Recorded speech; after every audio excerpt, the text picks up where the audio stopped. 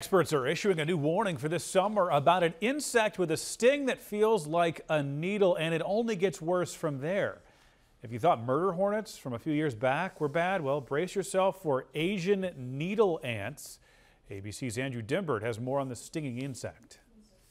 New sightings of a potentially deadly invasive species as the Asian needle ant spreads across the U.S. The stinging ant has been spotted in at least 17 states, with the insects now creeping their way into Texas for the first time ever. Wildlife officials are warning of an increase in allergic reaction to the ants. Their painful sting, which can pierce through clothing, contains venom that can trigger anaphylaxis, a life threatening reaction that causes swelling of the tongue and throat, difficulty breathing, and weak or rapid heart rate. At least three people in Georgia wound up in the hospital last year after getting stung by needle ants. It comes as Joro spiders have become an unexpected part of life in Georgia. Native to East Asia, the colorful arachnids the size of a human hand first showed up in the state about a decade ago and have since spread rapidly across the southeast. Spiders, when they get scared, they freeze and uh, they don't do anything. I don't know what you would have to do to get bitten by a Joro spider, but it's very, very unlikely. And even if it happens, it's not going to be dangerous. The Asian needle ant is not the first invasive insect sparking concern over its deadly sting.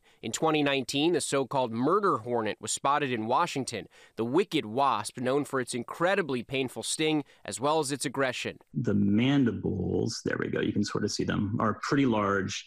Um, they're very, very sharp, and that's what they use to decapitate these. And then they'll mash up the thorax into a into a meatball, they call it, and fly it back to feed to their larvae. Murder hornets were officially eradicated in the U.S. last year. Andrew Dymburt, ABC News, New York.